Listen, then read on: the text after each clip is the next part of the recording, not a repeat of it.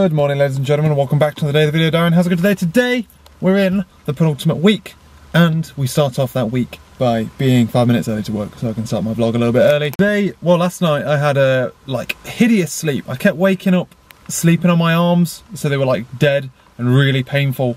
Um, so that wasn't very good. But otherwise woke up feeling relatively awake considering how much I was awake last night. Um, got ready, headed on into work, tried a new razor, because my old razor was like fucking old.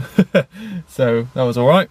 Otherwise though, we're at work. I've got some tests to fix. It's test week, which usually means, well, I don't know, I've never been in a test week before, but um, means addressing test failures. But I have a feature that I'm trying to merge in and there are some tests failing on that branch um, and I need them to go before I merge them in. Um, I'm like 99.999 recurring percent sure it's nothing to do with my change. but we'll find out. I ran some builds over the weekend, so hopefully I should have. The if the tests are failing on 7.18, if they're if they're failing on like the main dev branch, on like well the branch that I'm on, then hopefully they. Uh, if they're if they're appearing there and on mine, then I know for a fact they're not me. Um, Unless something's gone weird when I was merging and I've auto-merged something out. I don't know. So, let's go do that. Otherwise, tonight, busy as normal, shopping, all that shit, you know. it's Monday, let's go. And we is home, ladies and gentlemen. How's it going today? Today, I've had a pretty good day at work. Um, I was focusing on these hooks have been pissing me off. Essentially, we only have these four hooks, and I have too many things to hook up onto them. I'm going to try and find a better solution. Also, Laura said she'd fix my coat for me tonight. I'm going to put that somewhere to remind us. Put that there. I have like three hoodies and two coats. And I feel like excessive on there, especially because like the hoodies don't hang up very well. Let's see if this, because this, this one doesn't have a bloody hook on it. That's the problem. I have to hang it by the hood, so it has to go on top. God damn it. Anyway, ladies and gentlemen, um, today I've had a pretty good day. I went in expecting to have to fix a couple of bugs. Um, however, I've run a build overnight and they passed. Lol. So I added them to a list of intermediate tests because I didn't change anything, it just passed. Um, that potentially need investigating. Uh, see, we've got hooks there. Annoyingly, we don't have many, like, the doors. You can't put shit. You know, like the old uh, things that you put over the door, so you can't see what I'm pointing at there. Um, you can put like hooky things over the doors and shit. Doors have been painted on too many times, so that's like impossible. See, I need a solution for this. I'm going to figure some out. Um, I hope you don't mind me walking back and forth as I try and do this. Solution number one involves wearing one of them. That reduces our problem significantly.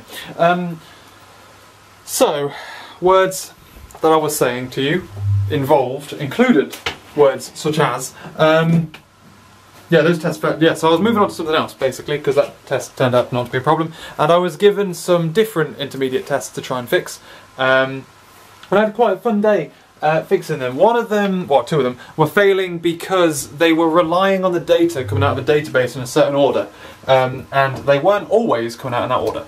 Um, so the test was failing. It was like get list, and then it was like getting the first item in that list. Um, and the suggested change that I was suggested to make was like assert that the list has a value, like has contains, basically, uh, using Hamcrest, um, which is basically a quite a cool like assertion tool. Um, not quite as cool as AssertJ, but we're not allowed to use AssertJ yet. We will be at some point, but not yet. Um, which allow you to basically do like uh, Lambda stuff, but with like Fluent APIs instead. So that's quite cool. Um, yeah, it was it suggested that we should basically search the list for invalid data, it then does the thing, and then we make sure that there's valid data in the list. The problem with that is there was already valid data in the list. The test did, like, changing it in that way does nothing because you've essentially said, here's a list with one invalid piece of data in. Fix the list. Did the list contain something that was valid? Yeah, it did. of course it did. Because uh, we put valid data in there. Um, so I was trying to figure out a, a way of pulling out that, so be, without relying on the order of the information, which could change from this data call to this data call, um, I tried to create a way of getting out that information. That was fun. Took me a while. I found a nice interesting bug where a custom matcher that we had in the code, we had a, a custom matcher called has item n number of times and then accepts a number. Uh, and then in theory it searches through a list and goes, does it appear five times? Is this thing true five times? Which is all very well and good, except for the fact that the list uh, it asserts the value input is larger than zero, and then goes, okay, right, have you got one of them? So for ages, I had a really annoying error message of expected seven, got seven. Because behind the scenes, it was just looking for one. so if, it, if there was one thing in there, it would have gone assertion passed, expected seven, got one. but obviously it doesn't do with that. So it took me ages to figure that out until I found out that we had a nice hard-coded thing, uh, which was like a nice bug.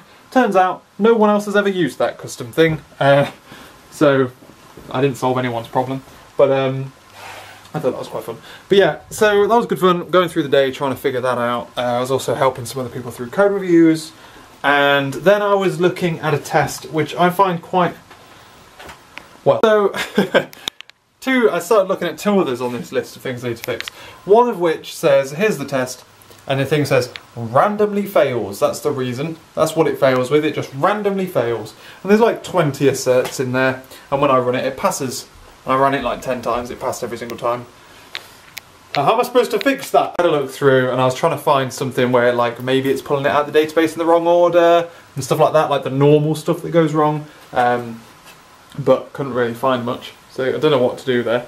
Um, another one, we have a test which checks whether or not you can connect to a service that we think, like a SOAP request. We pushes a SOAP request at a service. I know it's not a unit test, it's an integration test pushes the thing at the service and goes, can I connect? Like tests the password and all this kind of crap. Um, and I've got to fix the fact that if it if the service is down, the test fails. What? Let's imagine then that the configuration is fucked and we can't contact the service because the configuration's like pointed in the wrong place or something daft like that. And this test should pass. you know what I mean? Like the test currently sets up all the stuff it needs to set up, hits the database, and tests that it got like a authenticated key back, basically. Um, and if it doesn't get that authentication key back, because, I don't know, the fucking server's down, should that test pass? Should, should it? No? Probably not. Um, the real question is, should we have an integration test of that kind running as part of the build? Maybe. Maybe we should promote it to a test environment before running that test. If we're using a service which can sometimes be down, enough for it to be added to this list, maybe we should uh, consider changing service. I don't know. yeah, that was a good fun one. Otherwise though, ladies and gentlemen, lunchtime spent a good amount of time programming. Um, what have I been doing? I've been trying to figure out... been trying to architect uh, the way that I now pull out, figure out which files I need to test.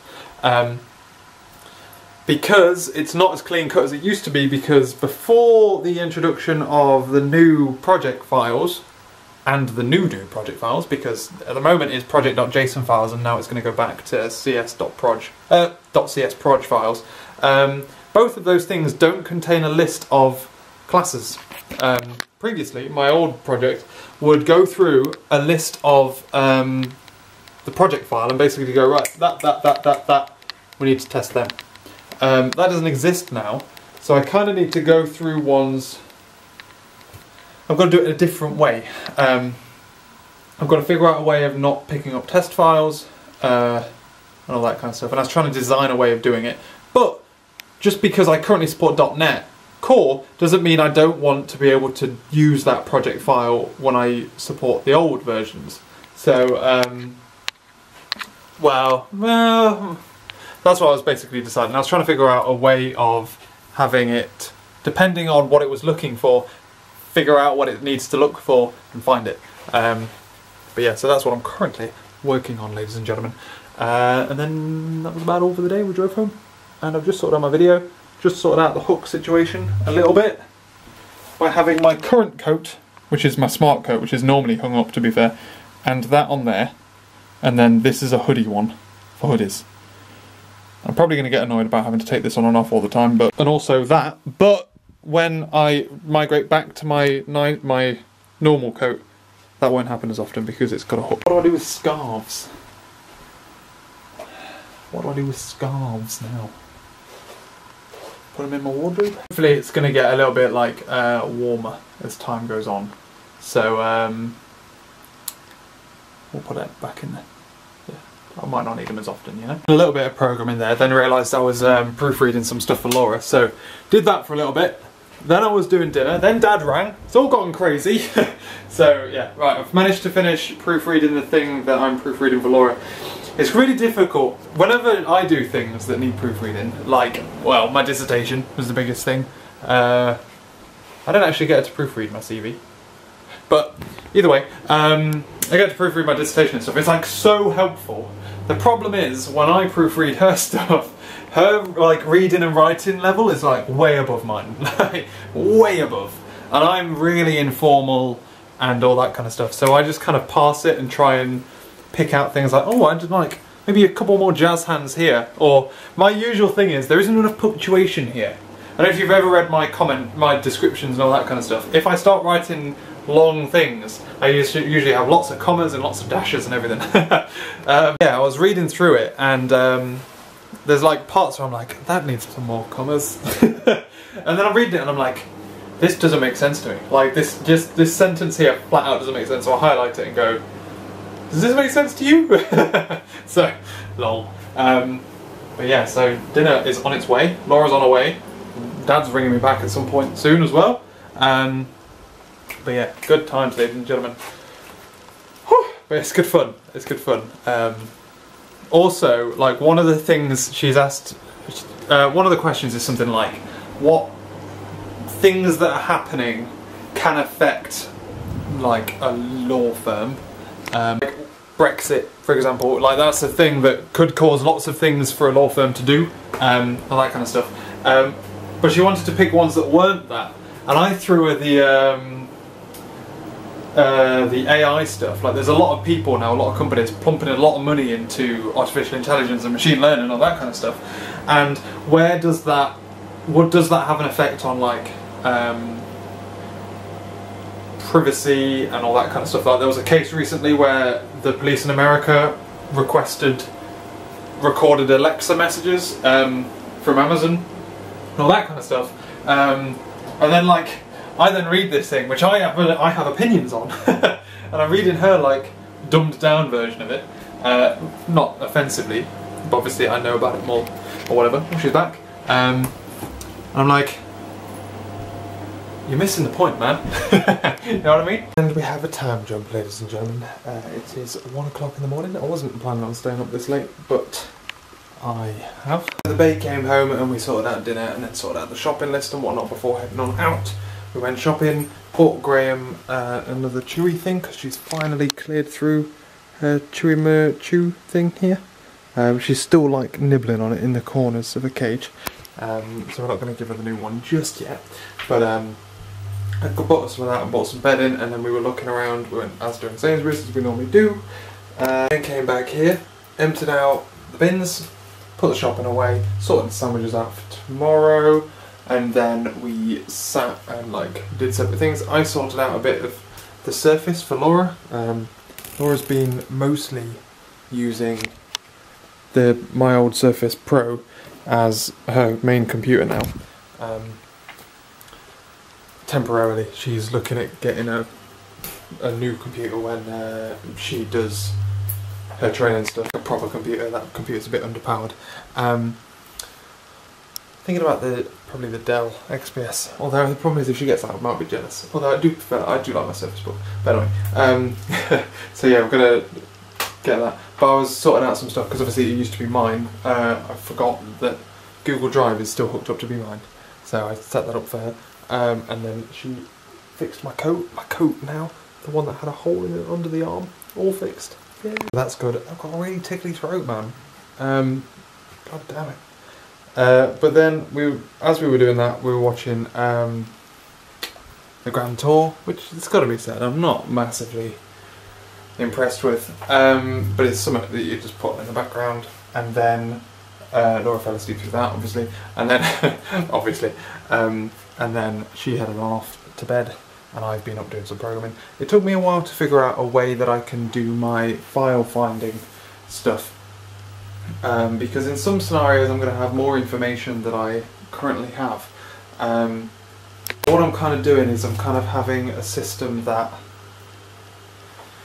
uses the file finders that I currently have, or that, that style of like system that basically says, hey, find the files in this directory path using this information, find, and then I'm going to filter it, and I'm going to basically say like filter list using this, this, this, um, because there are scenarios where um, I don't know if I've said this out loud to you or not. Um, the yeah, I have. Yeah, the test project file, uh, project files don't contain a list of all of the files that are within them. Um, so previously I was able to use the test project file to exclude all of the files that were tests. This time I'm not going to be able to do that. So instead I'm kind of allowing, I'm allowing the system to go through and find all CS files. Um, and then I'm using the files held within the test projects um, I'm kind of excluding them. However, I'm also allowing the option to exclude other files because, for example, you may only want to run the test unit tests, but you also want to exclude your acceptance tests, um, which probably going to be in a different directory. So I'm going to allow you to do that kind of thing as well. It took me a while to figure out how I was going to infrastructure that, and I was like, right, okay, let's sit down and do it and get like a semi-decent amount of this done. Um, so that I don't then tomorrow um, go, hmm, how am I going to do this? you know what I mean? I changed my mind overnight or whatever. So good that I managed to stay up. Um, I've done just short of three hours of programming today because tomorrow I am going to struggle to hit that because we are going after work to town to go to a meeting conference thing all about uh, well it's called machine learning for muggles so it should be good um, so yeah, I'm looking forward to that. Uh, also, two people from work are going to, so that should be good fun. Should know someone there, obviously. Otherwise, ladies and gentlemen, that's all for today. Laura didn't do that. That's cool. I reminded tomorrow. Um, anyway, ladies and gentlemen, thank you very much for watching this video. I hope you enjoyed it. Lots of work. Tomorrow, more test fixing. Lots of stuff. Very busy. Very, very busy. This week is going to be a very busy week, to be honest with you. Um, oh god. Every day, in fact, I'm doing something. Although we should have lots of time Thursday. Thanks for watching, ladies and gentlemen. Wrapping up. We're wrapping up the daily vlogs on a busy week. I'll catch you later.